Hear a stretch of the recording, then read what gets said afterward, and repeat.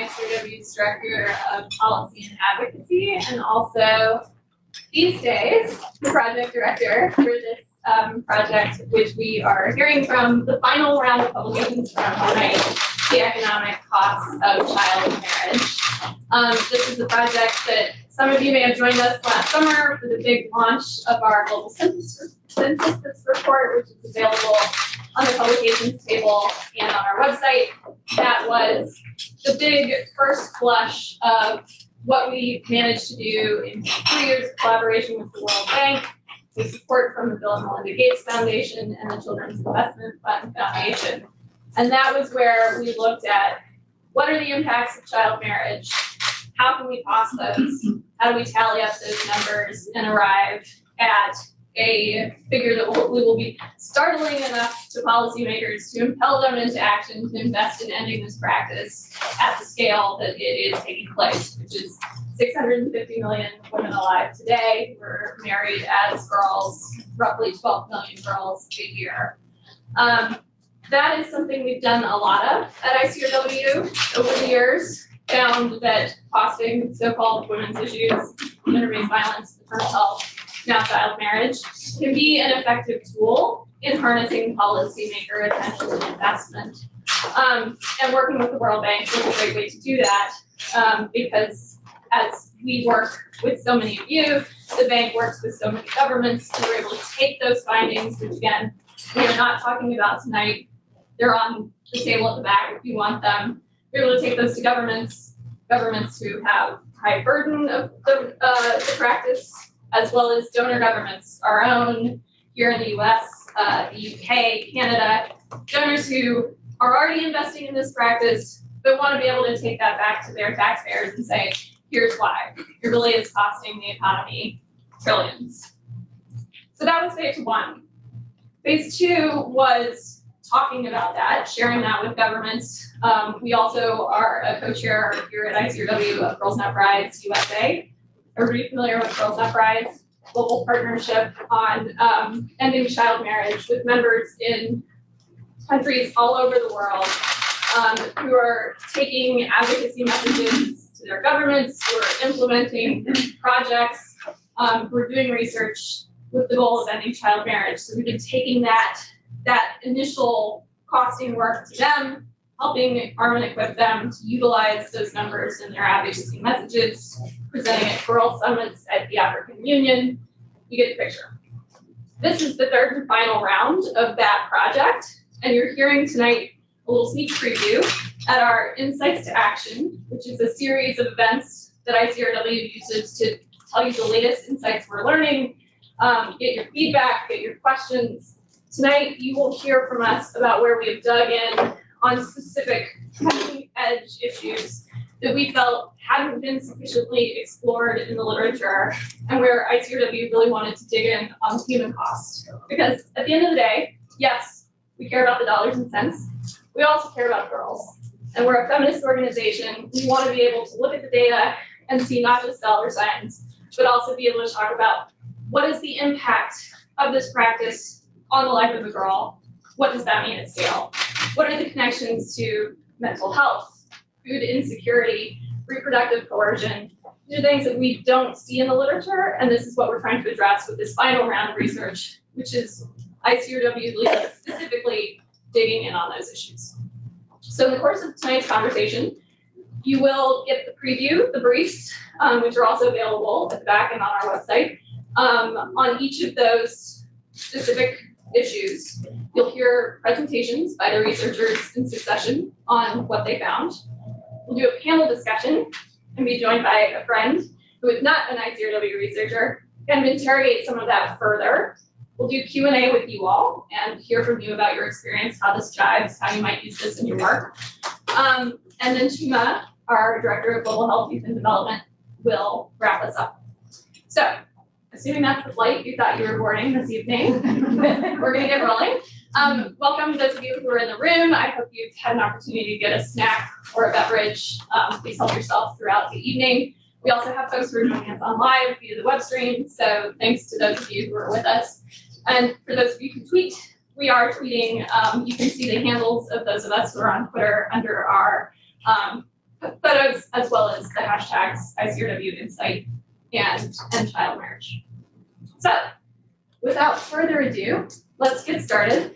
We're going to move now into the presentations themselves. And first, I would like to welcome um, Aslihan Kes, who is ICRW's senior economist and really led a lot of the thinking throughout this project as we were designing conceptual models, doing the costing work, and her background is in agriculture and food security. So, no surprise, she's going to be presenting to us some of the work that she's done exploring the connections between those two issues. Welcome, Aslihan. Thank you, Luke, for the introductions and walking us through uh, three long years of uh, work that you've done uh, with many, many colleagues at ICRW. A lot of them are here today, which great, and with them, as you mentioned. And uh, as we wrap up this uh, global program of research, uh, here we go. Uh, I want to first step back and, and take us to the inception phase of this research where we were able to really, as you, as you mentioned, uh, as well, to really look at what is out there in the literature, what are some of the domains of impact in which we already have existing evidence, and how can we organize them, and, and systematically look at the existing evidence in a way to then be able to uh, interrogate and investigate potential pathways to economic costs. Uh, so as you can see, what was uh, emerged from that initial uh, review of evidence uh, was that there were five key domains of impact that we we, we saw significant sort of concentration of, of learning, fertility and population growth, health, nutrition and violence, educational attainment and learning, labor force participation and the type of work, and lastly, participation, decision making and investments, including investment decisions.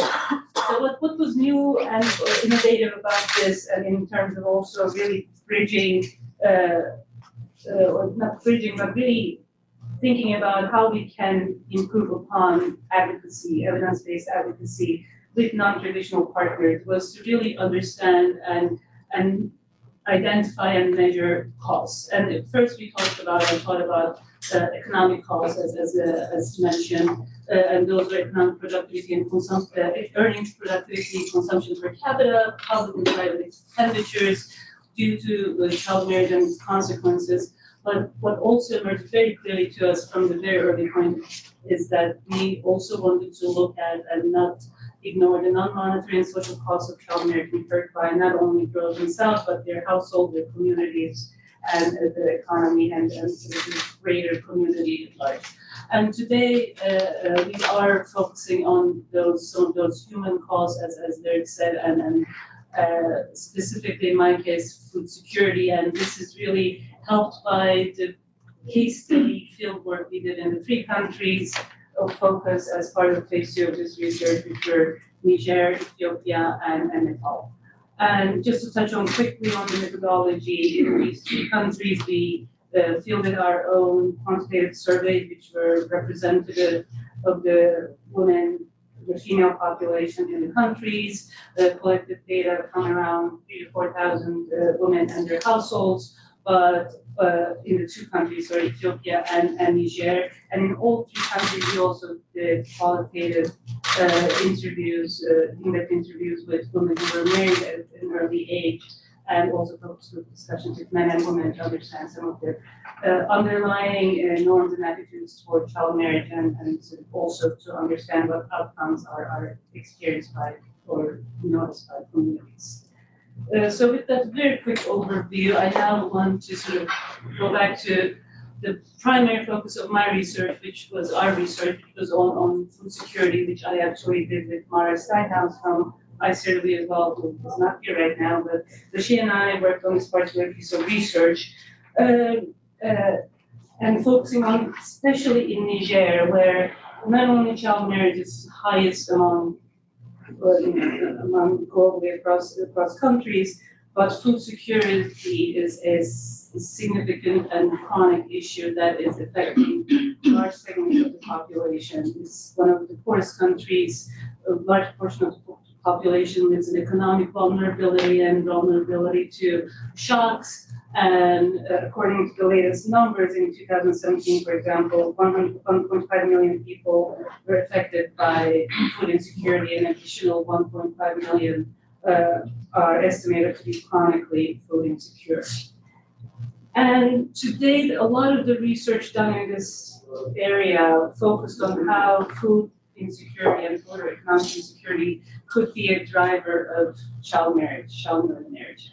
Uh, in this research, what we wanted to explore more closely was the reverse relationship, whether or not child marriage impacted households' food insecurity uh, as women uh, sort of enter into marriage at an early age, and as a result of that, may have some you know, disadvantages that they they experience throughout their lives.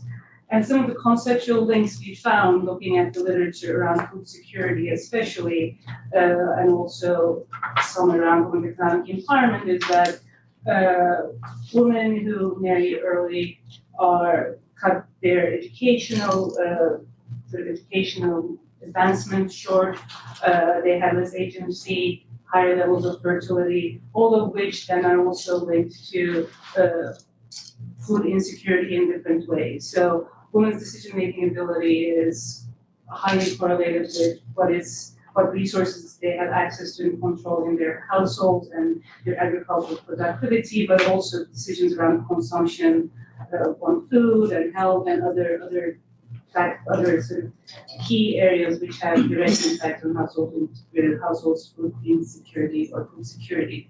Similarly, uh, in, in contexts where high fertility and high dependency ratios are highly notable, we also know that women's care burden and just the fact that uh, there's a high dependency ratio in households also have negative impacts on uh, households' uh, food insecurity. And coming back to education again, we, women's educational attainment is one of the most significant predictors of households' food security in, in the, in the household in different contexts, including in, Niger. So with this sort of evidence uh, pointing us to a potential correlation, we, we, we did uh, some analysis using two different measures of food uh, security. One, uh, food uh, dietary diversity, so looking at within the last seven days, the, the, the range or the number of different food categories that the households consumed. And uh, secondly, to subjective food uh, security, which was measured by a question to the were early and now is an adult woman in that particular household, whether or not they felt their household was food insecure in the last seven days prior to the, to the uh, survey. And uh, what we found was, in fact, uh, as expected, a significant association between early marriage and uh, current uh, household food insecurity. Uh, and this, this association was significant, particularly in cases where women had married in, particularly at earlier ages. So as you can see, uh, in, and this is results from the first analysis where we look at dietary diversity uh, in households where women uh, married in early age at 12. There is a significant, uh, significantly low levels of dietary diversity compared to the household where women have married not or 18 and above. Uh, similarly, this uh, culminates into a significant impact at ages uh, 15 and below. So again, indicating that child marriage is uh, important, but that the significance is statistically significant, sorry, uh, uh, at ages when women have married, uh, particularly at young ages. And we found similar results also with subjective food insecurity, where uh, the earlier the woman uh, had gotten married, the higher their likelihood was to report subjective food insecurity in their household today. Uh, and another uh, thing to note in our results was the, again, very significant association we found between women's education, formal education in particular, and uh, household uh, food security, in, you know, measured in both uh, indicators. Uh, and since we did not model this, but since it's very well established that child marriage is impacting education, there's an indirect impact that is also uh, worth noting that not only child marriage directly impacts household food insecurity, but also potentially through its impact on, on women's education. And with that, I will stop and we'll have some time to Q&A. Thank you, Hansel. Um, so I find that fascinating, and we'll get more into it in the panel discussion, but basically, very clear cut findings there. Both measures dietary diversity as well as subjective reporting. Yes, I feel food insecure. We did see a relationship. So thank you for that. Um, next, we'll hear from Ted Rizzo, who is a program associate with our Global Health Youth and Development team. And he's going to be talking to us about the manifestations of reproductive coercion um, among married girls in two districts in Nepal. So take a look at that.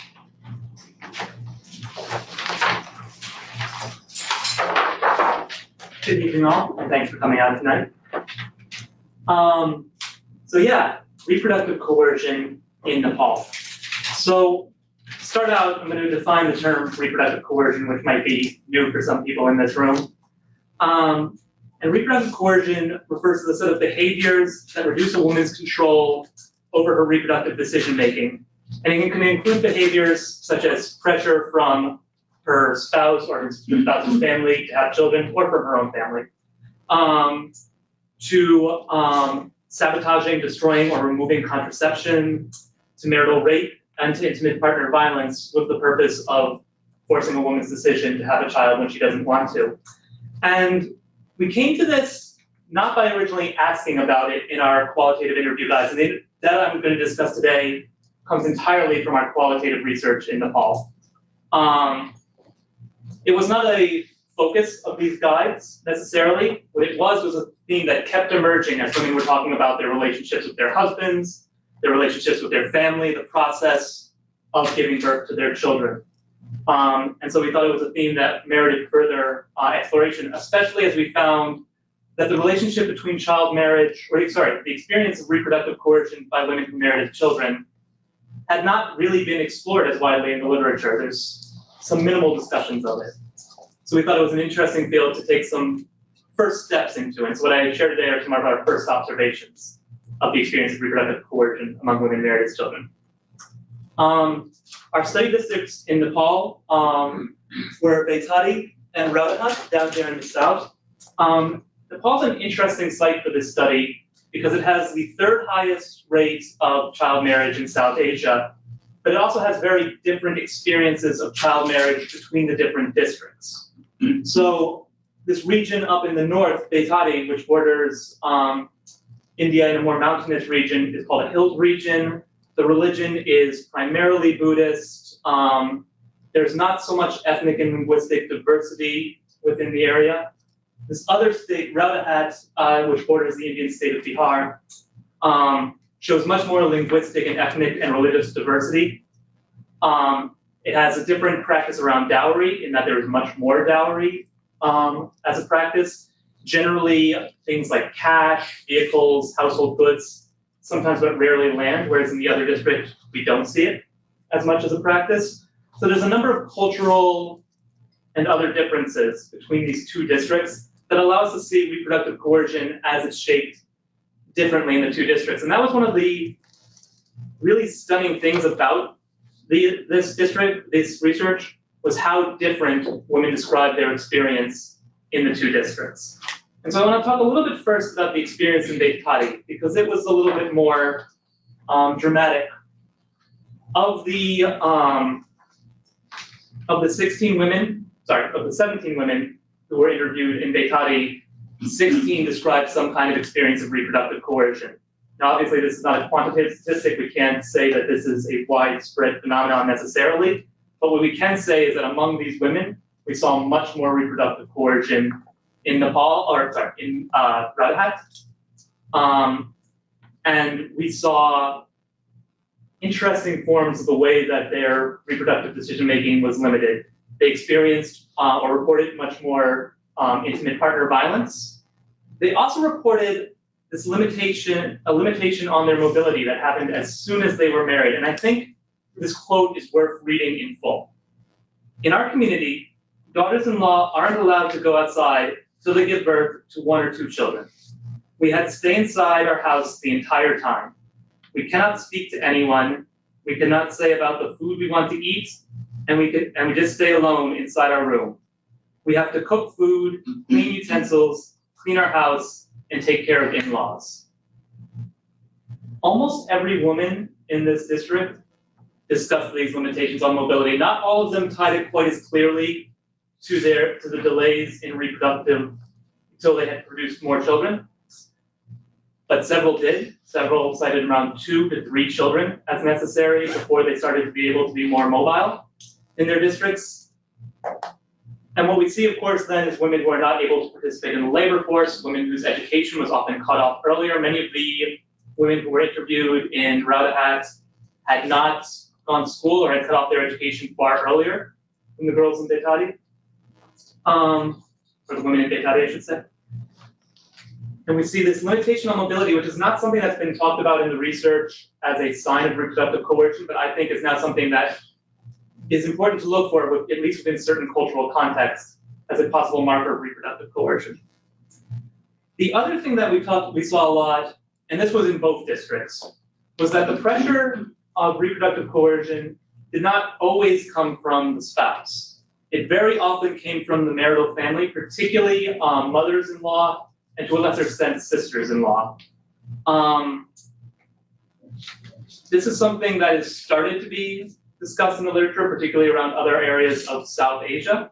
Um, but it's something that we think needs to be dis- explored more fully, especially as we see in situations like this one here, where the mother-in-law has changed the husband's opinion. At first, he was supportive of the woman's decision to use family planning.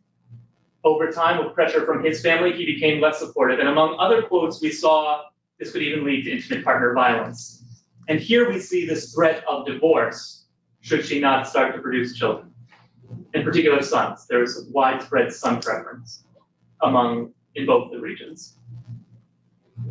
So what does this mean moving forward? It means we need to look at, at research, looking at districts within different parts of the world as we explore reproductive coercion, child marriage, really breaking down below just national levels, but trying to understand sub-district levels. Um, I'm going to be the very stereotypical researcher who recommends first that we need more research. Um, but it also means we need to think about different forms of reproductive coercion, especially con- including limitations on women's mobility as possible ways that women are experiencing pressure to have children early. Thank you. Fantastic. Thank you so much, Ted. Have a seat. I think that's fascinating the way it came through that this was something that was um, a restriction on mobility immediately. And then, then it was, you know, two to three children, sons ideally, and of course at that point, you can't really be mobile because you've got all this perfect. Anyway, um, thank you, Ted. We'll come back to that more in the Q and A. And then, uh, finally, I would like to welcome Neetu John to the floor, who's a social and health scientist here and is going to present on, um, the impact of child marriage on mental health.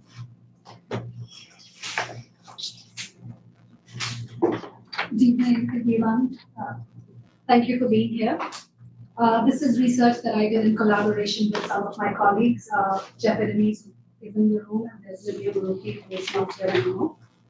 So uh, as you, uh, so researchers and programmers have long hypothesized that child marriage may result in poor mental health outcomes. Um, because of its linkages with poor decision-making, agency, many of the things that have been laid out in Arva's presentation and Ted's presentation. But there's very little uh, empirical evidence has actually looked at this association, especially in non-Western contexts. To fill this evidence gap, we included measures of overall mental health in our surveys in Niger as well as in Ethiopia. Specifically, we included a measure called the Psychological General Well-being Index, which is a widely used scale to measure psychological quality of life of general population. It consists of 22 items that assess psychological well-being of respondents in six health-related quality of life domains, anxiety, depressed mood, positive well-being, self-control, general health, and vitality. We assess the psychometric properties of each of these uh, scales, the overall measure, as well as each of the subscales, and use them in our analyses. In addition, we also uh, looked at qualitative data specifically for Ethiopia to get a more nuanced understanding of some of the mechanisms that might link child marriage to psychological distress. So uh, we ran a series of uh, regressions to estimate the association of child marriage with overall psychological well-being measures as well as with each of the each of the subscales after adjusting for a variety of factors and found that uh, even after adjusting for these factors, there was a negative association of child marriage on the overall measure of psychological well-being as well as many of the subdomains. And this was uh, true for women who married very early. So as you can look at the table from Niger, it's right in front of you. Uh, so women who were married at age 15 or younger were more likely to have a lower psychological well-being score as compared to older women, and this was also true for many of the subscale measures.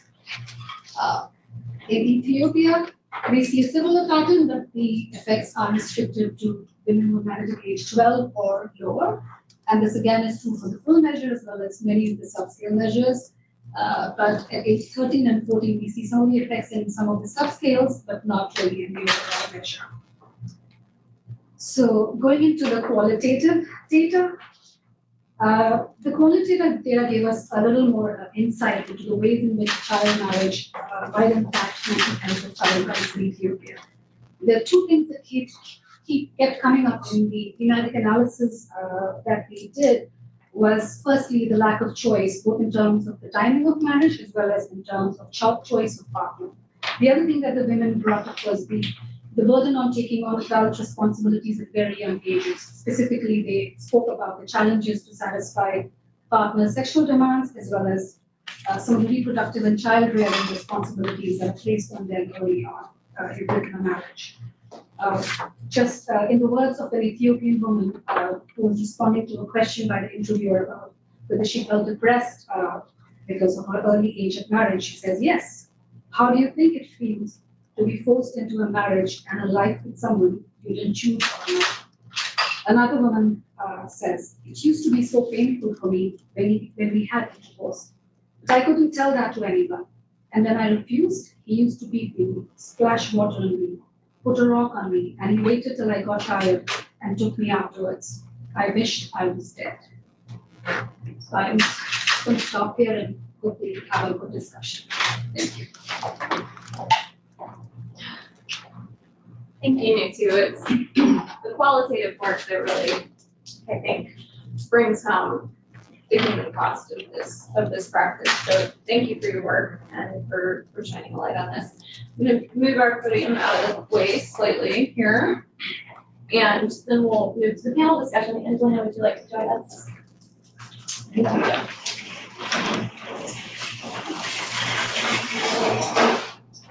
So welcome Angelina, who's joining us. Um, Angelina Gonzalez, who is a forensic psychologist and also a Rise Up champion. Everyone familiar with Rise Up? Fantastic organization. If you're not, look into it. We've done a lot of work with them, um, and their their whole thing is helping equip girls to advocate for themselves on issues of reproductive rights, child marriage, you name it. Um, we have done advocacy at the UN with uh, a girl from Malawi who ended child marriage in her village and took it to the parliament, up the age of marriage to 18, and then she went to the UN and got our Global Women's Issues Ambassador excited about ending child marriage as part of US foreign assistance. So that's the kind of scope and caliber of advocates, just phenomenal women um, and girls that are associated with that organization, and we're delighted to partner with them on this event. Angelina um, is, has expertise on this issue, particularly in Latin America. Um, and so we're going to hear from her first. Um, just as a, a, respondent who can kind of help us process your expertise is mental health.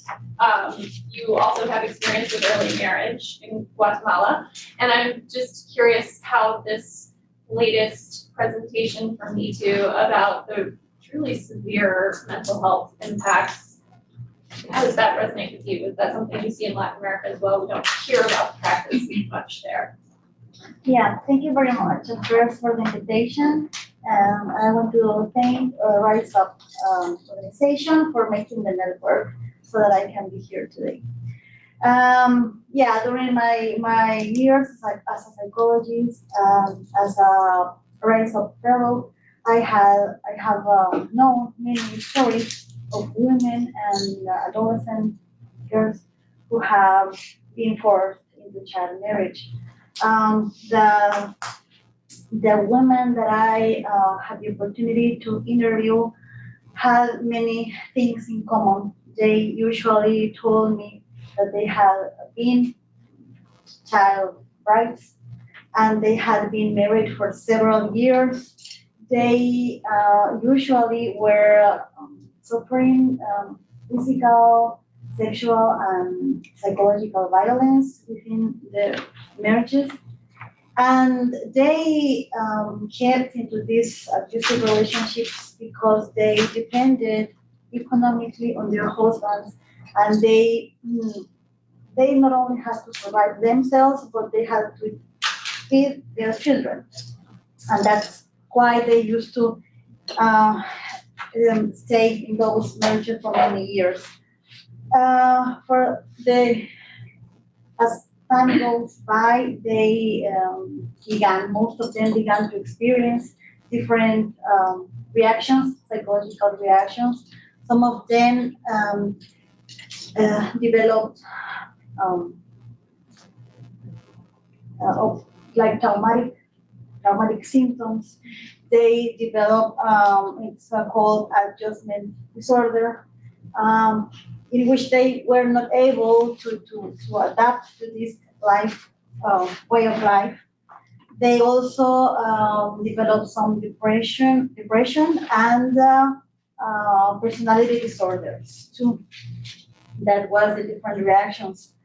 Uh, one of the important things is that the, the stage of life in which they were uh, forced into child marriage was a very important uh, stage, and they they they had to leave behind their own goals, their own dreams, and to start a life, taking responsibilities, or would say, and uh, leaving behind social relationships and activities that were uh, of their own age. That was the, the most uh, symptoms or, or psychological reactions that I could. Thank you. You know, I think it's interesting, one of the things that really came out for me, Ted, in your work was that we've really missed the mark on this when it comes to overlooking the role of the mother-in-law. And I don't know if that's because we associate things like violence with the man in the relationship, the intimate partner, the power holder in the relationship. If we overlook that because of a mother-in-law not actually being active in the process of reproduction, or what, but it seems to me, you covered a little bit at the end of your presentation, where, what does this mean for the field, just in terms of we've overlooked mobility? But what about the mother-in-law? What, where do we go next on that? That's another area we really need to start looking more into, not just the mother-in-law, but relations throughout the family. Um, both the marital family and outside the context of reproductive coercion, the birth family. Uh, one of the most striking moments in a lot of those interviews were women who had married as children, recognized it as this harmful practice in their life, and then described the process of marrying their daughters. Not all of them, not even the majority of them, but a few of them. It was very striking to read these, how they had internalized these norms that they recognized as harmful to them, but still perpetuated them.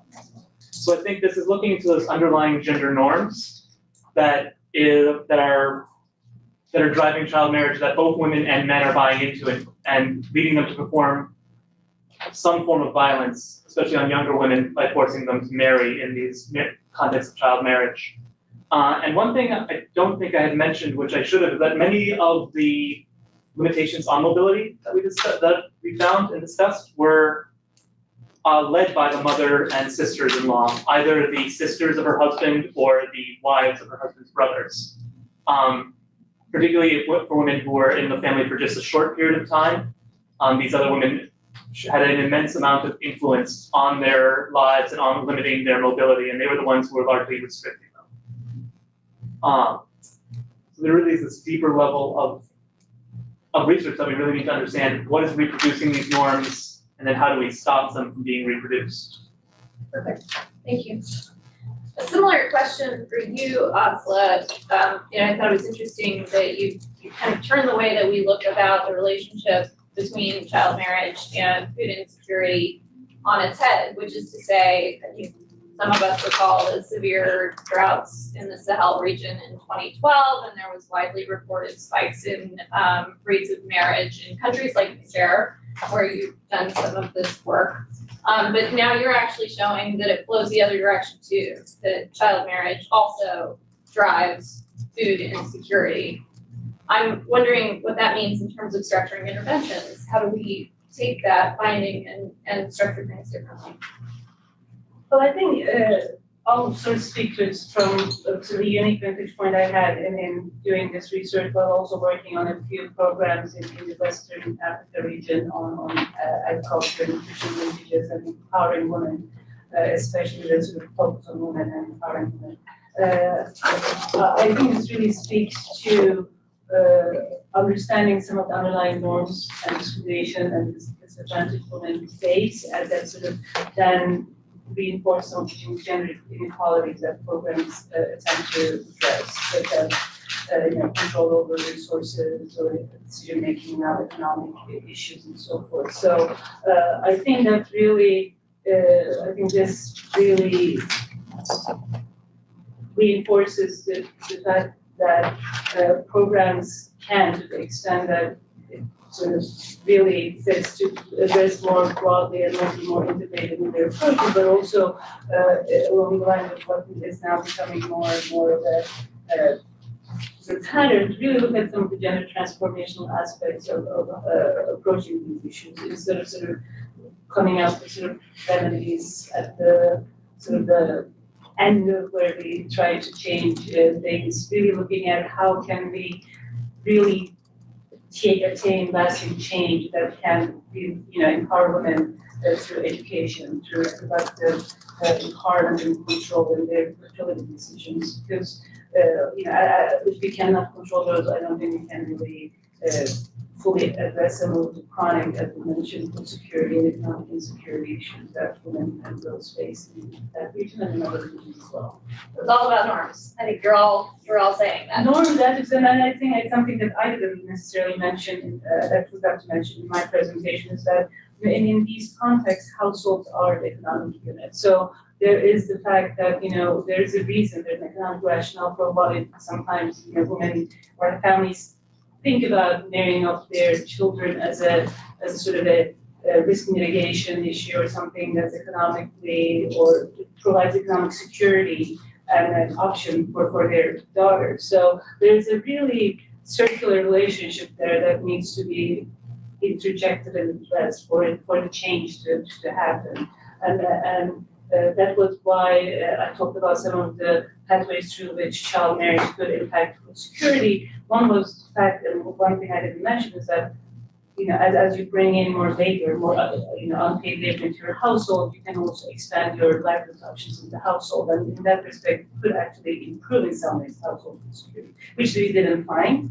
But uh, there, is that, that fact that needs to be very understood and addressed in programs, both on the child marriage side as well as on the economic empowerment and that security.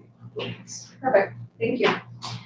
Me too, um, I'm re- recalling sort of some of the genesis here of the work on mental health. And we have Suzanne Petroni in the audience with us who helped us, um, really identify that a few years back when the World Health Organization data showed us that a leading cause of death, the leading cause of death for girls fifteen to nineteen around the world was suicide and self-harm.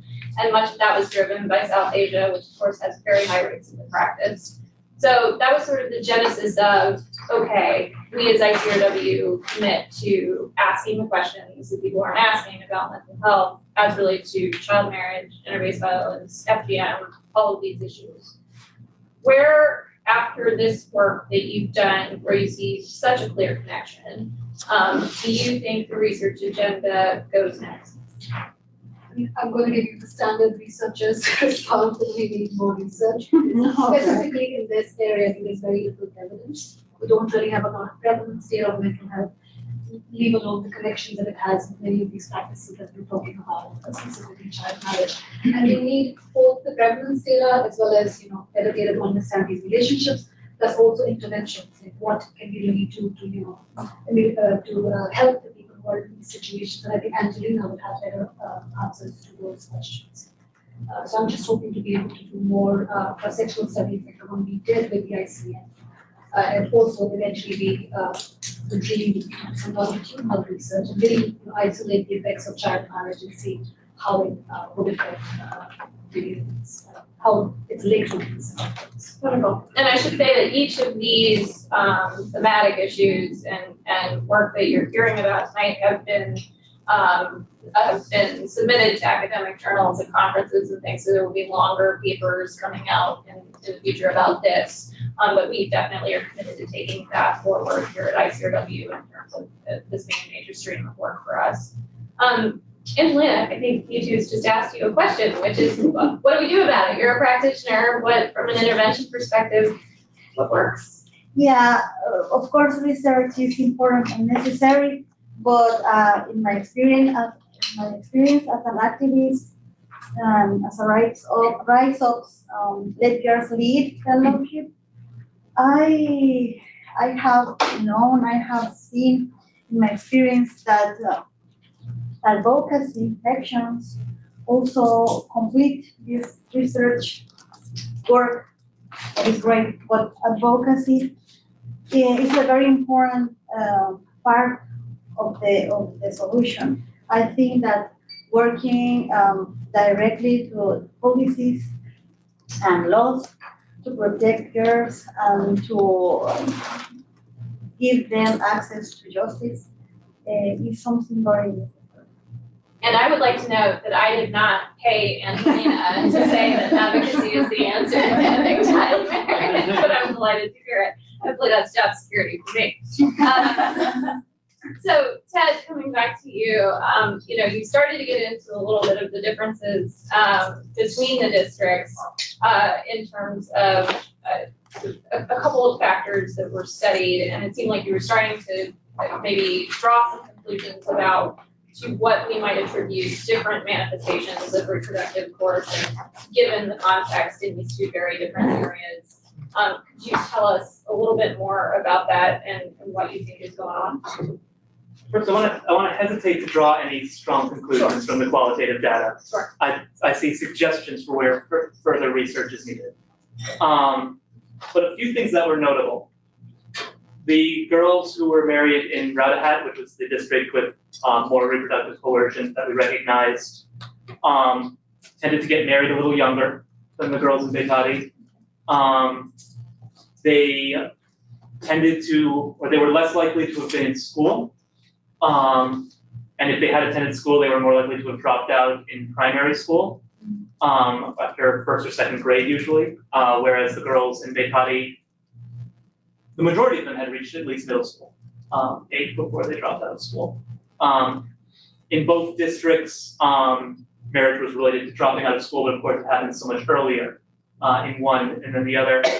Uh, one striking thing, coming back to the theme of mobility, see, fascinates me, um, is the women in Baitadi described becoming more mobile after they had married. They gained more access to different institutions, they were able to go around to more places in their villages. Even the women who said that they felt more restricted in their mobility would often talk about saying people in their family would tell them they couldn't go somewhere, and then they would go go somewhere.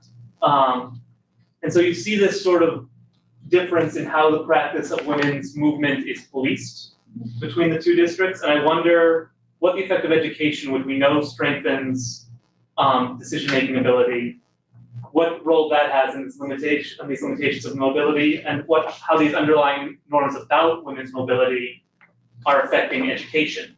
Whether as girls are getting older, they're not allowed to go to school in um, Rautahat because they are becoming of reproductive age and they felt that they need to be more controlled.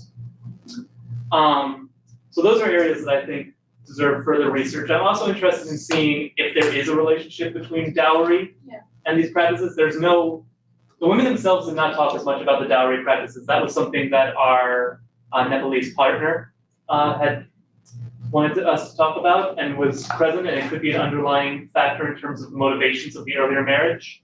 I think as um, described, the, the use of dowry as a way of getting security for the natal family is something that's very important, and I'd be interested in looking more into that uh, differences. So no, no firm connections, but a lot of potential ideas. Because you did, I think the brief says that there was, dowry was a big thing in one district. Yes. And less so in the other. Was that the same district where you saw more limitations on mo- mobility and higher manifestations of coercion? Yes, it is. Well, thank you, panel, for uh, tolerating my, uh, my series of questions. It's now time to hear from the experts in the room on your comments and questions. This is our, our goal and intention of this series is to hear also from you about your work. We have with us, of course, Suzanne, who is the godmother of this, uh, of this work. Uh, Jeff, who's the demographer, and, uh, excuse me, Dr. Suzanne Petroni, um, Dr. Jeff Edmeades, who's a demographer, and a lead researcher in a great deal of this work. We have Jennifer Parsons, who was our, our, our in early days, worked with us on the economic, or on the, um, economic impacts conceptual model and, um, helped get us started. And actually, I should just note, Jen, Chima looked at the model yesterday and he was like, this is really good. This is nice to see that. So so you've got, um, and then all of the rest of you who undoubtedly are doing amazing work in child marriage, as you know, and as you who are new friends. Um, please do share your name and affiliation and your comment or question. Speak to the heavens, because that's where the microphones are, and we have our friends online. And then friends online, please don't hesitate to raise your hand and either, um, I believe that there's a message box where you can type in questions and our friend Joe will relay those on your behalf. Yes, please, welcome. Uh, good evening, I'm a new friend, I've not been here before and it's very, my pleasure to be here. I'm Lalaki Ashwini, I work as a gender equality team at Save the Children currently. Uh, before I was, I'm, I come from the country of Georgia, so before I used to do a lot of work in Georgia and I was one of the first researchers who started to research women's property rights in Georgia and assessing the situation just making the field and it's fascinating how these issues are related to and how when there is a problem, it has all the different angles that are very much similar. And also just, just one comment and then I have questions to Ted, if you don't mind. Um, it also was fascinating to see how in Georgia also when it comes to property, women transform from being a bride and wanting to have access to property to when she becomes a mother, especially mother of the boy because then she becomes protective of the right of her son to have property. But when she's bride, of course, she wants to have more access to the property. So it, it was fascinating to see this transition of that comes with age and motherhood. My question was regarding dowry, and if you know a woman who have dowry and who came with a dowry, do they have access to this like from the next day of the marriage, like if it comes in cash or if it comes in money, do they have any access at all to these resources? And the second question uh, is about um, mobility. Uh, another study that we conducted in, at SAVE, also we found that mobility was limited based on the purpose of the visit. So if she was going to the market to buy goods for the families, then she was allowed to go. But if she was going to benefit herself personally somehow, then she was restricted to do so. Do you find any similarities there as well? And also culturally, how's, how interviewer, interviewees explain this change in mobility? So now she's more, more respected that she has towards her children and that's why she can go? Or what's the change in the woman culturally that allowed her to go out? I know it's a lot of questions, I'm sorry for that. He's very well equipped to answer that. Go for it. Um, regarding dowry, uh, as I mentioned, the women did themselves did not talk as much about the practice of dowry. They would mention sort of what their dowry was, but it did not seem that they had any kind of access to it based on what they were um, discussing. I don't know about the, pra- the, the practice more broadly in the region. Um, regarding mobility, I think in Baitadi, which was that region in the hills where we saw less reproductive coercion, I think what you found largely reflects what the women's experience was. They were able to go to market and maybe not necessarily go to things for themselves, but even going to market was something that was new for them.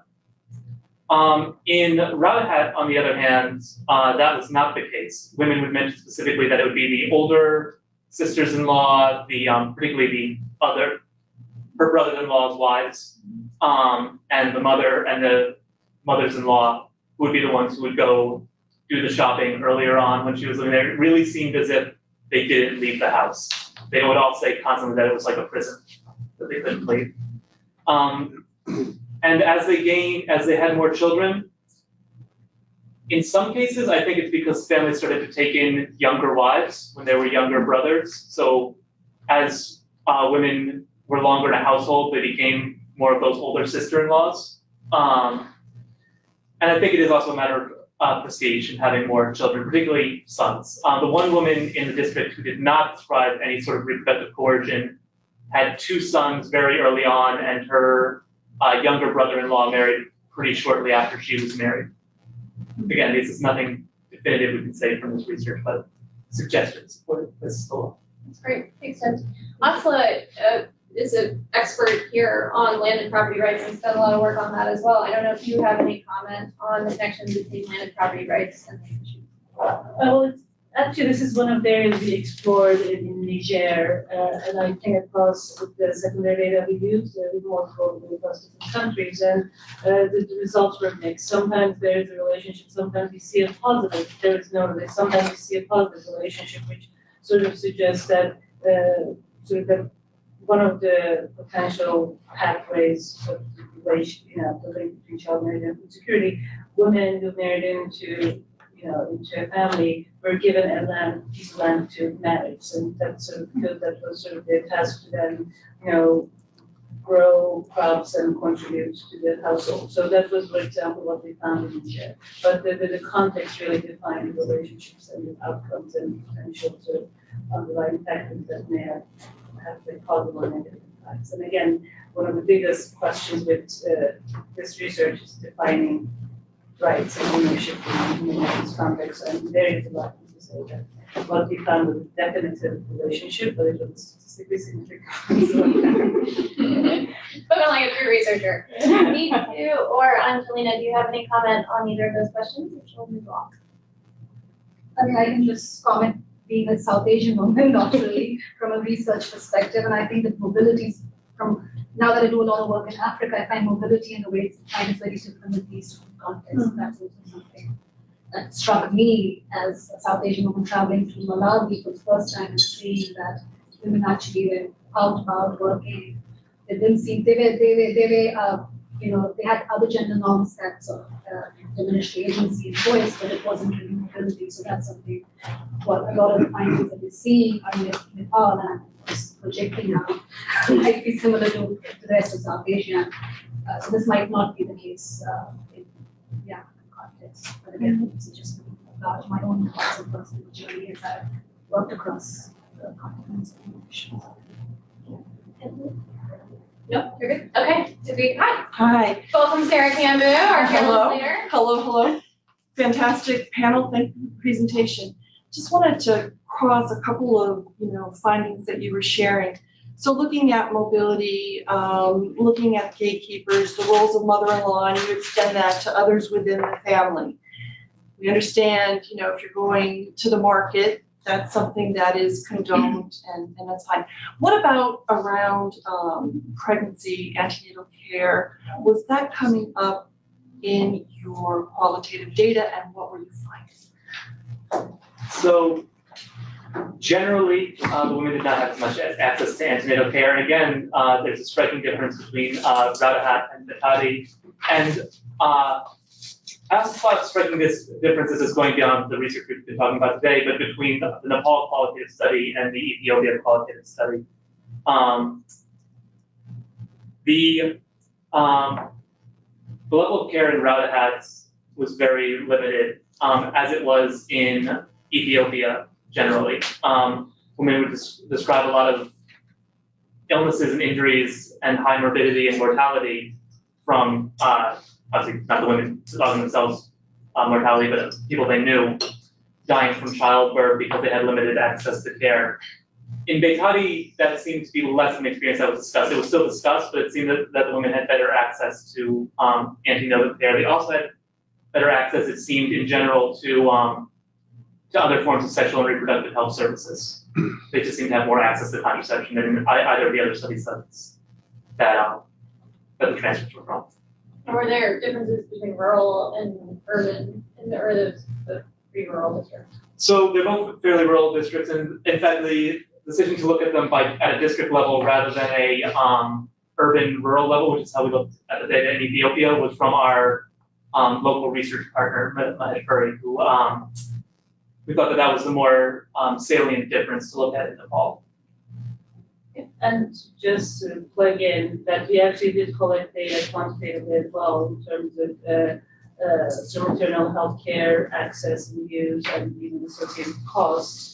Uh, uh, so we are, as a, you know, further research could explore whether or not there is significant differences between, uh, use of these services among women married early or not, and the types of services they saw and some development experience. Yeah, we haven't yet uh, these are large data sets, really, we have touched on these.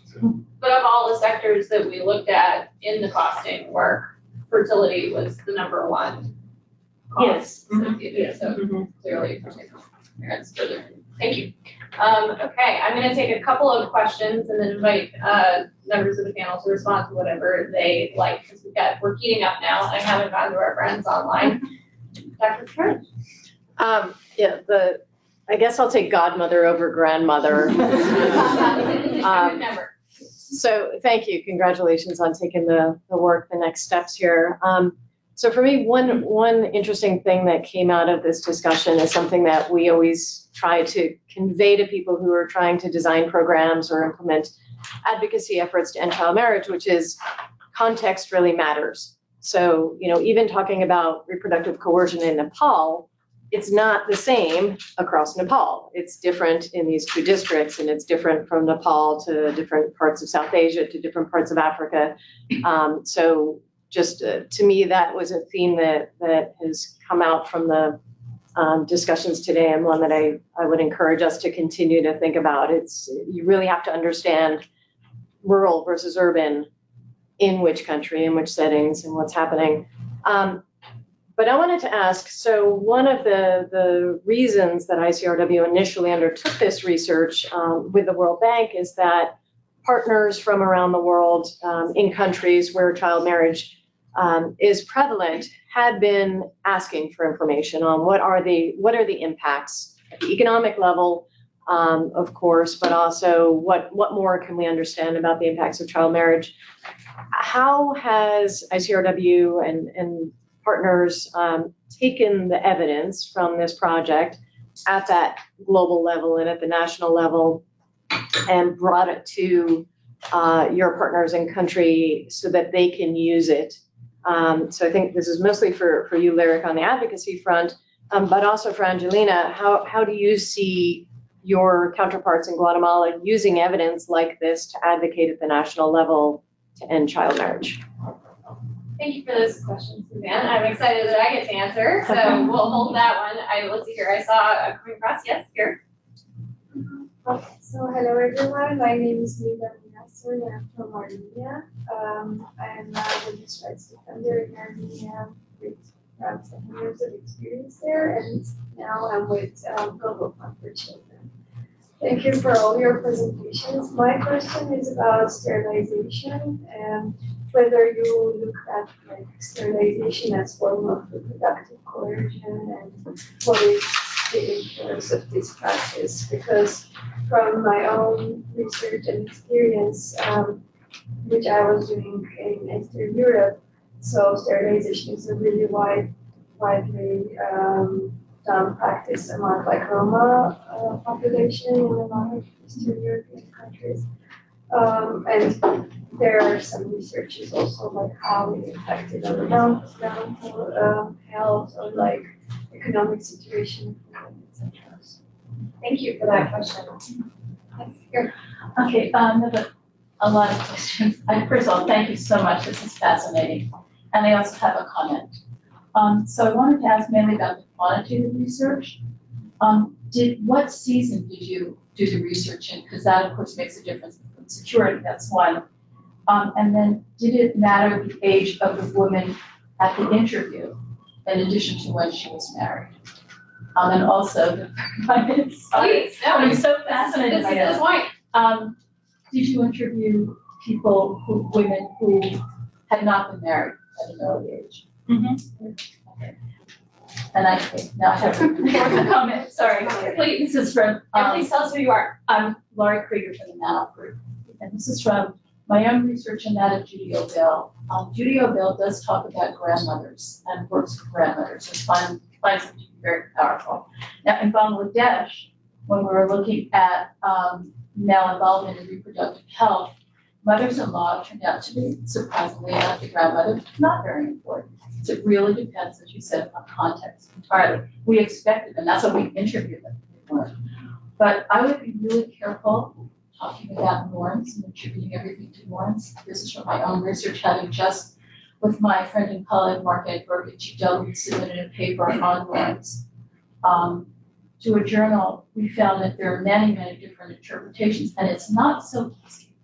So that, um, it's not so easy to attribute to norms. For example, um, it makes perfect sense to me that a woman would need to have two or three children in a culture that insists on on women not being mobile because she's a stranger and she hasn't bought internet now, particularly if she's young.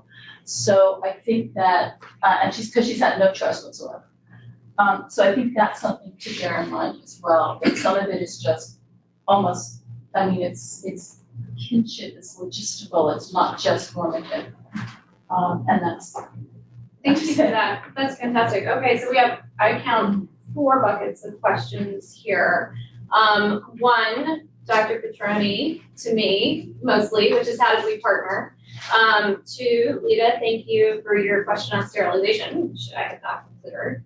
Um, three series of questions for you on the food security work. And I'd like to, I'd like to invite your comment as a question for anyone on the panel to respond to in terms of what about norms? Um, so quickly, moderator, moderator's prerogative, how have we partnered to get this, uh, work out there? Um, and I think this, speaking for myself at least, this has been a really exciting project in terms of really pushing us to um, make sure that we are as intentional about the partnerships, dissemination, and yes, advocacy um, as we are about the research, which truly is project to project in a world where some donors are afraid of advocacy. You know, sometimes they're not necessarily a, an advocacy agenda from a particular piece of research. This was really a, a, a, a piece of work that from the very beginning, and thanks much to your, I think, um, vision and support of that, um, did anticipate that we would, this would be something that would have some advocacy punch. Um, and that has been true. So we knew that we wanted to make the rounds and talk to donor governments as well as our um, obligation and intention to come back and talk to um, host governments where we did the research. What did we find? What's it costing you? What can you do about it? Um, but we found, you know, for example, the, the, the kind of synthesis brief, the like top findings brief that's out there that's two pages and lots of graphics, was a direct request from the government of Canada, where folks said, look, my minister wants to talk about this, we're spending money on this, seems like maybe we could spend more money on this. Um, but honestly, for speeches and things, I need something even shorter than that great global synthesis report that you put out. So could you just pull something together that would be the punchiest qualitative stories, the diagrams, the like, don't make me work so hard to find the numbers. So that's one where it's like we have a we have some flexibility in this project because we have donors and partners who really supported that work to say, all right, governments, here's what we found. Is this helpful to you? What do you need? Um, you, of course, presented this work at the first African Union Girl Summit and had similar experiences where people were just kind of following you everywhere and saying, can you come to my country and do this again? Um, and to a certain extent, our third phase of this project has been responding to those calls. The Girls Not Brides global meeting happened in May, um, which was 500 groups there. I mean, em- enormous. Um, and, and that was, we presented this work, the World Bank was there, we were there. And then the whole final phase of that presentation was, if you have further resources that you need adapted from this study, let us know. And people are following us up with us and we're doing some technical assistance in that regard. We've partnered directly with Girls Not Brides members in various countries where we did work to be able to bring in the country level analysis that we did and help them pull those numbers into accessible policy briefs, do translation, all of that. Stuff. So that's, I think, a really essential part of, of the impact story um, from this work and one that we're grateful particularly to Gates Foundation for being able to do. Um, comment on sterilization? Yeah. Sorry, Angelina wanted to say something. Sorry? Oh, I'm so sorry, Angelina. Sorry, Please, um, means. we're asking about the Guatemalan context. Yeah. right? Um, uh, um, civil society organizations have done a great job. Last year, uh, we had the achievement of uh, the, the, the law against, the, the law that prohibits child marriage is um, now a reality. However, informal unions are still occurring, but at least we, we, we had this important achievement. And now uh, i- it's still in discussion, another law to protect girls that have suffered sexual violence, um, sexual exploitation, and uh, human trafficking. No, thank you for that. Um, and I think it's important that you, you flagged two things, I think, that are definitional for us. One, the difference between, um, formal and informal unions, which of course we're counting both in child marriage, uh, numbers, but that's a distinction that's very important. Um, and also earlier, you mentioned the difference between forced and child marriage, which is to say, course, child marriage is either party under the age of eighteen, forced marriage can happen at any age. Um, but the importance of looking at all of those, so thank you for that, Angelina. Sterilization. Sterilization. Um, in general, people in this study did not talk about sterilization. For the most part, these were women who wanted to have fewer children than they were being forced to have. So it was, um, if there were attempts to reduce amounts of childbearing, it was generally on the woman's side. So she would clandestinely use contraceptives. Um, a few women would talk about uh, self-induced abortions. Um, and so in general, it was not that women were not able to have children when they wanted to have them. It was that the women in this study were being forced to have children when they didn't. That being said, I'd be very interested to learn about other marginalized populations, particularly those in Nepal and other contexts such as the Roma in Eastern Europe, to see what's happening in terms of that form of coercion. I was just curious about what exact, I mean, the sterilization was, was it imposed by the state or from the the partner? So I'm a little. Usually it's the family, so Oh, really? whenever they have children and then they don't use contraception a lot, so instead of contraception, they have to undergo sterilization in order not to have more children. But is that something because that's the only service that is accessible to them, or is it because, uh, Usually, That's the method. yeah, according to the researchers, it's more like cultural for this population. Yeah, and this is again, like reproductive coercion because women have to do that against their also. I mean, India has a history of sterilization, but it's pushed from the state, and it's become normative because, you know, almost every woman had two children and got sterilized, and that's become almost normative, but it was started by the state to sort of, you know, control the population, so. The United States has a history of sterilization for similar reasons, so, um, interesting, thank Just you. to add on that, yes, it's absolutely cul- cultural, it's just an easy way out, like, oh, okay, you had two children, mission complete now. So Yeah, like, done. and then nobody, nobody has to worry about. Because women in these cultures are married seen as reproductive uh, subjects, uh, sometimes unfortunately even objects. So whenever the mission exactly is completed, they don't have any other substantive uh, functions to do, so they can have sterilization. Thank you for the question, I think more research required. Asla, um, even tonight, I hope someone tweeted that. Um, a series of questions for you, season of the research and its impact on food security. Um, we talked, I think, actually all of you, I think, talked about the significance of the age of marriage and the younger, the more severe sex issue. Um, but did age at interview matter? Did you look at that?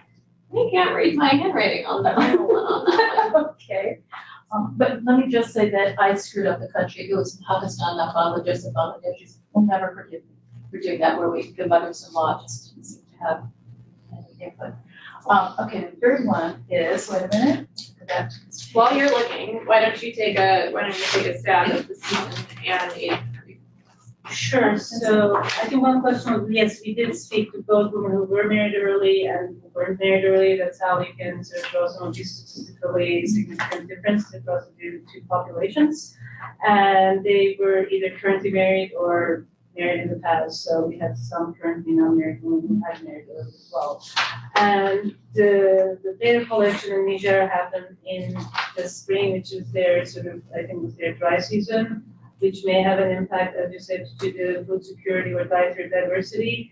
The way we tried to control for some of that was to look at at the community level, the household food production, so how many different types of crops the communities was growing uh, in the last twelve months, or I think the last twelve months. So sort of, sort of, given that the local, the economies are very localized, so food availability and the climatic variability was very, you know, controlled for in that way. And then as for the age of the woman, there was a negative association and depending on, so the older the woman was, the, the less dietary diversity we detected in the household, but the association was not significant. Uh, but to your point, I mean, some of the other sort of discussions have emerged.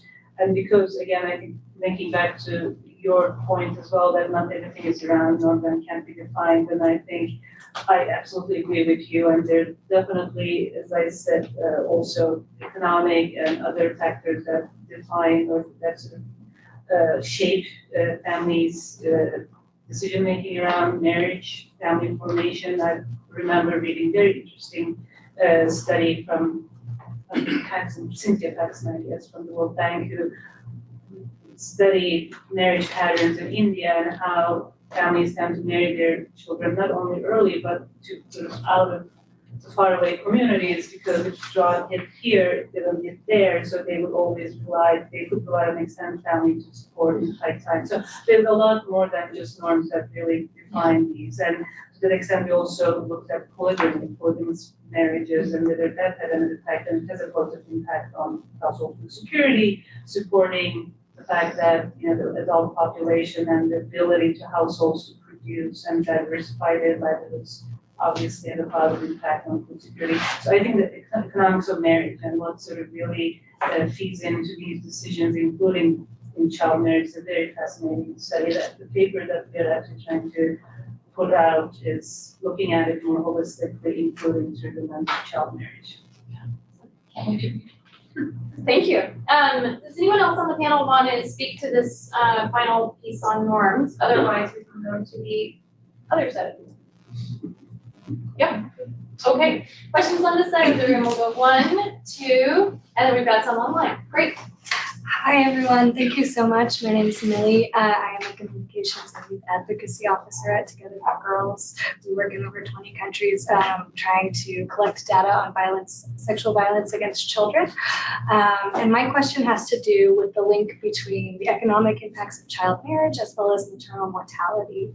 Um, before I worked at Together for Girls, I did a little uh, bit of work in the sexual reproductive health and rights um, space and we really led with uh, maternal mortality as kind of the the reason policymakers should kind of adopt more of an SRHR focused um, policy regime. So I'm wondering just um, uh, within the research as well as within advocacy efforts, is there a place and space to connect and link um, the economic impacts of child marriage with maternal mortality um, and just your all's thoughts on that. Thank you so much. Thank you for the question. Dr. Well, first, congratulations on making it through three long years of working on this really interesting, I think, uh, set of, of findings as a whole and, and today that you presented. I have a, a comment and a question. The first comment is really about thinking the question of interventions, which came up in, in the discussion. And I think very obviously these results demonstrate again um, that child marriage is a very bad thing for most girls who are married um, at very young ages, um, which motivates us to uh, focus on prevention of child marriage. But I think really it, it, it also behooves us to think about mitigating the effects of child marriage because we know it continues to exist. It will continue for at very large numbers for a considerable period of time. And so I think when we think about interventions, we need to be looking at these results and thinking, what do they tell us in, in terms of mitigation as well? So I look at the, the mental health uh, findings and I wonder if some of what we need to be looking at are things like relationship quality or, or spousal communication, which I know needs to, another paper about. Did she pay you yet? But, but I think the problem is we often, we ignore the, the girls once they're married. We're very interested in preventing them from being married. And then when they do become married, they disappear until they show up again in uh, childbirth statistics or in terms of contraceptive use and so on. But, but those are the, those are the people who are suffering the most. They're the immediate following, following marriage. And, and we, I think from an intervention perspective, should be paying more attention to them than, than we are.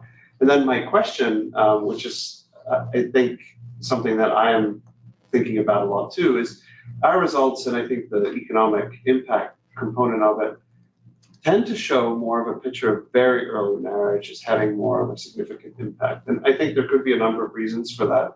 But I wonder what you think as a group, what does that mean for, for interventions and how we should be thinking about um, child marriage and its effects in general? Thank you so much.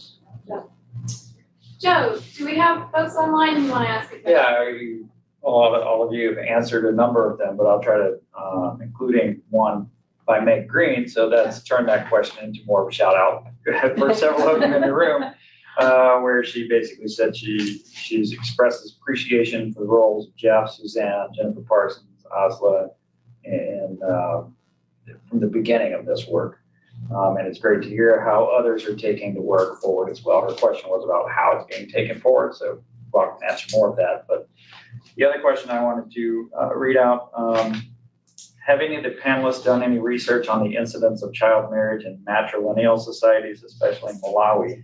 If yes, are there differences in the factors that contribute to child marriages in such societies when compared to patrilineal societies? Yeah. Thank you. Those are great questions, and we always love, love, so thanks to Meg, to Meg for that.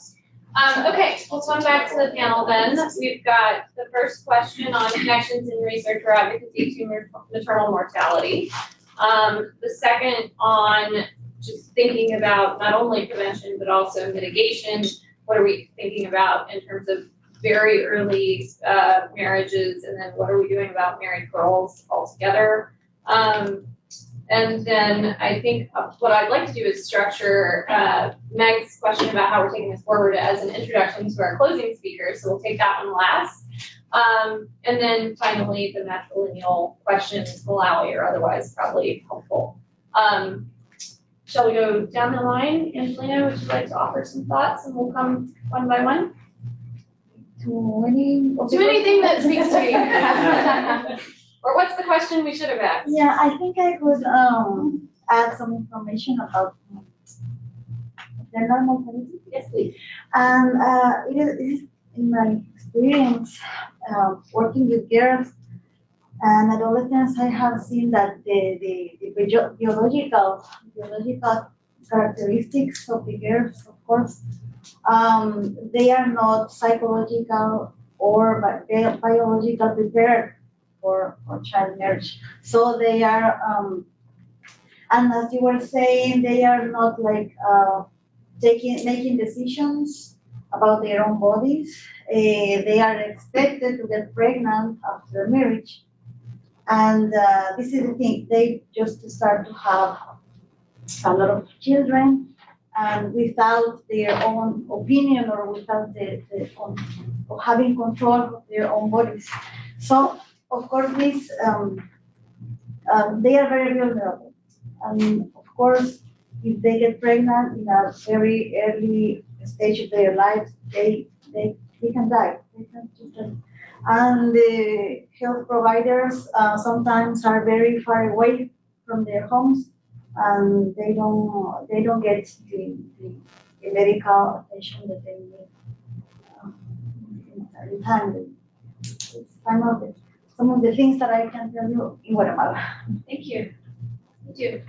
Uh, I think I'm going to try and answer some of Jeff's questions, and I think these are tough questions, things that we are sort of grappling with and sort of figuring out. I don't really have the answer, in fact, should have more discussions with you on it. But in terms of just like the gradient of risk that you spoke about, that we found that very early girls, uh, very early marriage was the one that was really having the impact. What does that mean and what is, uh, what is happening to the adolescents in terms of the developmental stage? And how that links to some of these outcomes is something we need to study more. Uh, and what does that mean in terms of advocacy for, you know, uh, what the lyric does, I will let lyric answer. But I think it is definitely interesting that that has come out, not only in our work, but also in the bank's work, and it's something that we need to sort of understand, like, what is so special about this developmental stage that particularly makes them vulnerable to these, uh, different outcomes.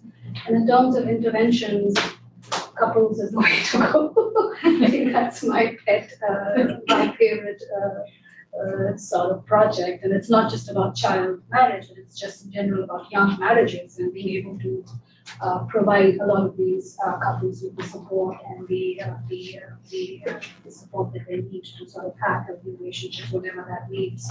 And I am actually part of an RCT that's happening right now in Nigeria, where we're sort of looking at uh, some of the ways that we could uh, enhance uh, the relationship and uh, the effects that it would have on things like reproductive coercion, IPV, as well as contraceptive use. So hopefully when I have results, I'll be able to give some more ideas about what could particularly work in this population. Uh, touch briefly on the question of interventions. Um, one thing that several of the women talked about in Nepal was how affected they were by the loss of their education. But at the same time, there were a, very, a small group of women, mainly in Baitadi, that region in the hills, where there was less reproductive, where we found less reproductive coercion, who were able to continue school after, for a little while after their marriages. It varied person by person. and seeing the ability for women who have already been married to then have access to education and to then maybe not have that extra factor that we're finding throughout the research as a major effect of child marriage, how the loss of education is, is related to many of these economic losses, I think would be a very interesting intervention point. Look at those very recently married girls who might still be able to um, go back to school. Speak briefly to the question on Malawi. We are currently working on a assessment or an evaluation of a project in Malawi. It's mainly looking at the response to child marriage rather than the drivers there, so I can't speak as much to that matrilineal society. But interesting with the question based on norms, for that project, um, our lead, Laura Hinson and Mara Steinhaus, um, used CARE's uh, SNAP tool, and I'm gonna forget what that stands, social norm analysis. Um, the, uh, and what they found in that, in the baseline was that in these communities, people were not viewing child marriage as a norm. There was this fact that people were marrying their daughters young. Daughters were in general getting married before the age of 18. Um, but they, but the people who were answering the question did not feel that they were expected to marry their daughters or the girls over whom they had decisions before age 18. And they did not um, feel that they would be sanctioned, and yet the, the practice remained despite that. So not as much about the matrilineal society necessarily, but something that was of interest. Thank you. Awesome. And I'll probably speak to the same thing and just second what Ted just mentioned in terms of the importance of education. And again, I think one of the refinements that sort of emerged from our empirical research, so our conceptual framework was how much of the impacts we saw, the costs we saw were through education, that that was the sort of the major link.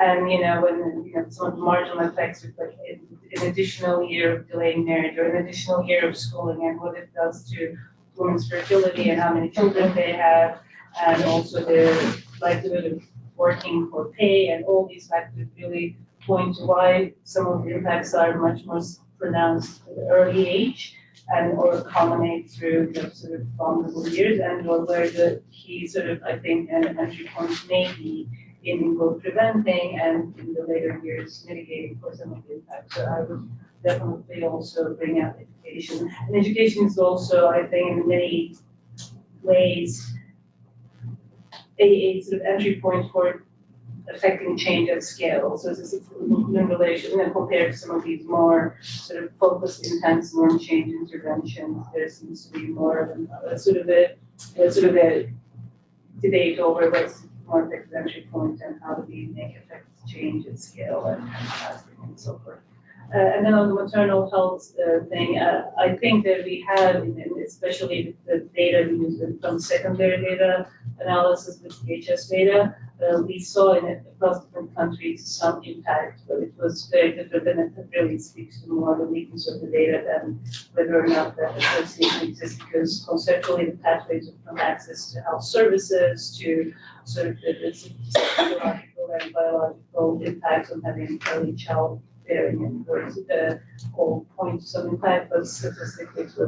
was uh, to analysis. Thank you.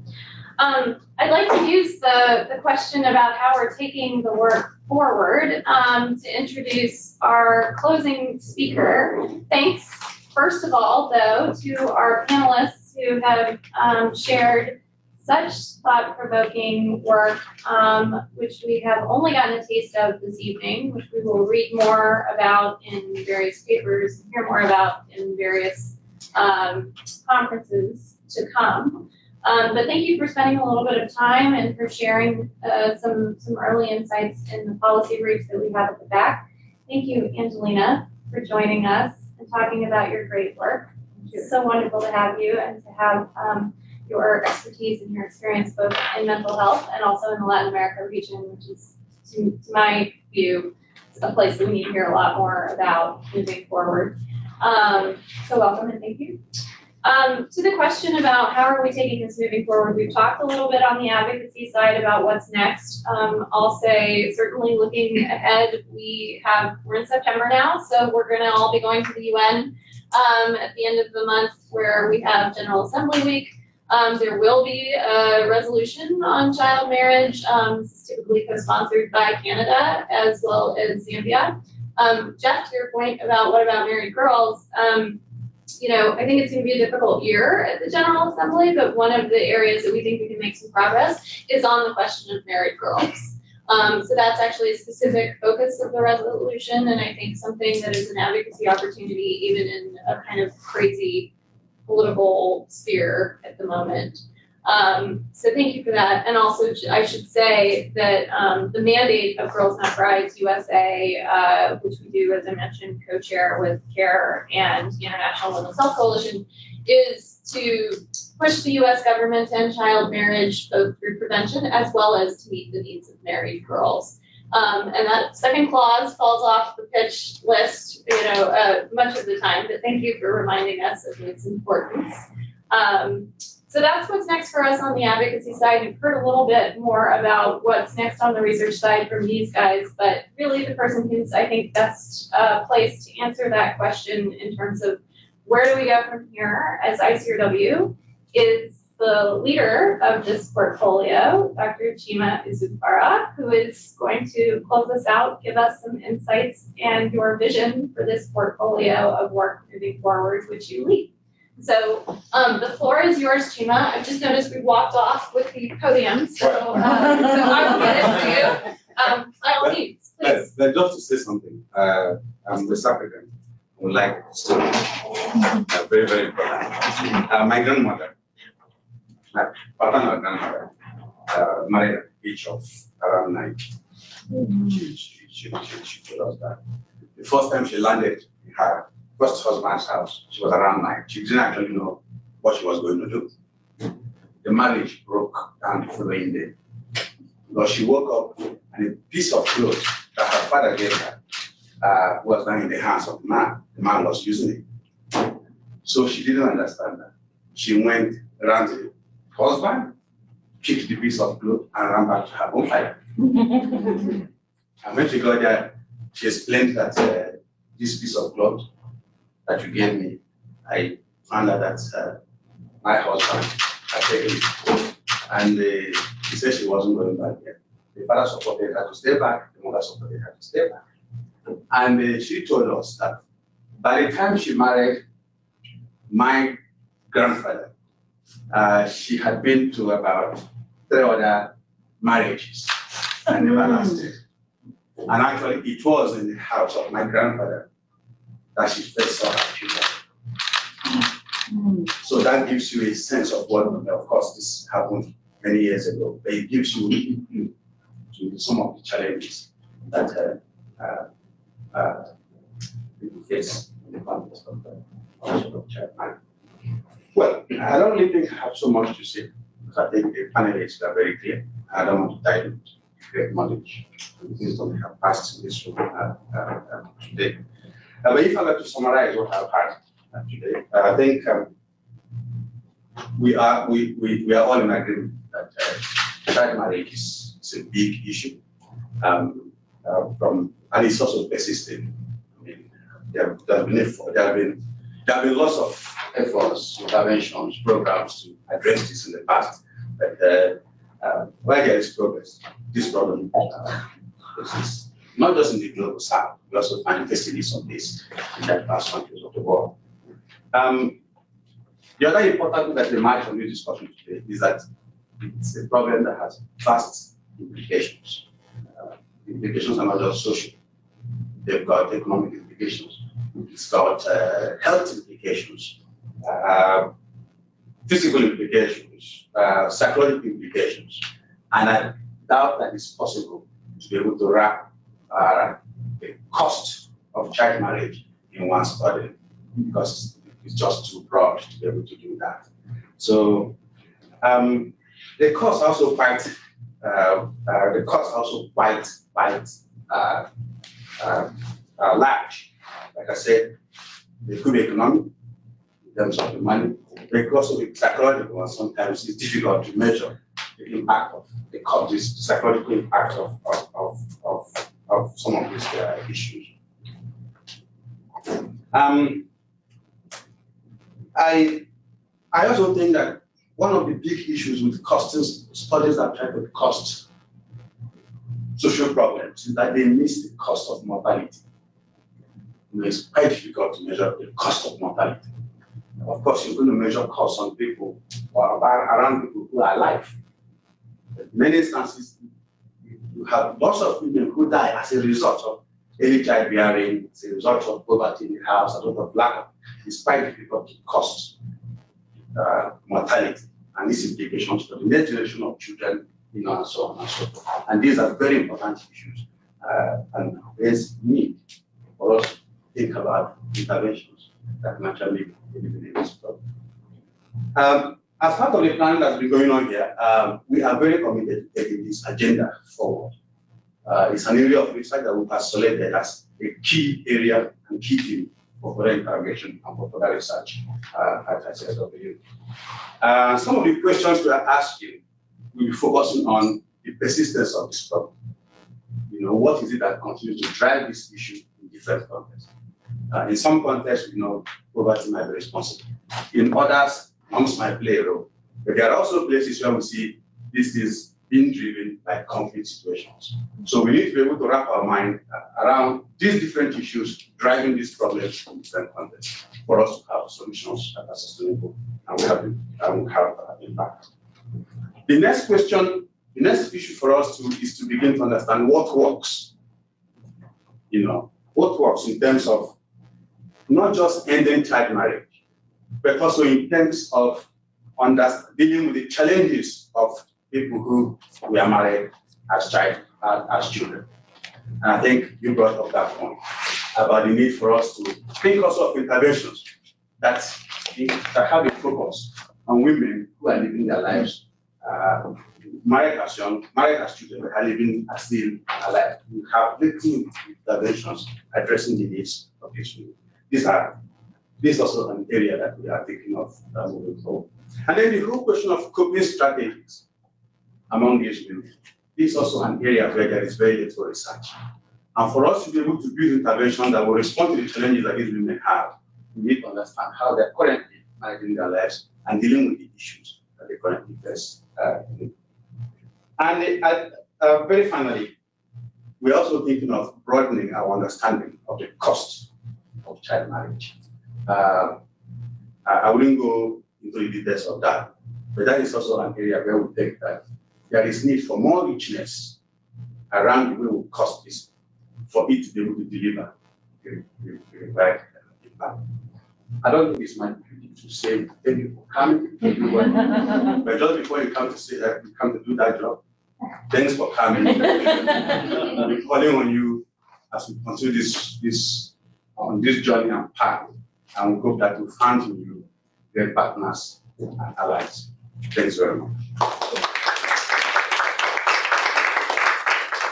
Well, I've been invited to thank you for coming. So thank you for coming. Thanks to those of you who joined us online as well. Um, we appreciate your time, your insights, your questions. Please don't hesitate to be in touch, um, either now in the remaining minutes of the time that we have here with our, uh, wonderful speakers. Um, should you have further questions or follow-up. Um, but also, you know, don't hesitate to reach out in the future. All of our contact information is on the website. Join us for future ICRW Insights. We do this every month. Um, it may not be as great as this one, that's what we ever had. Um, but we really, we really are keen to use the space to convene, to hear from you, and to tell you the latest on what we're up to. So with that, thank you and good night. Thank you.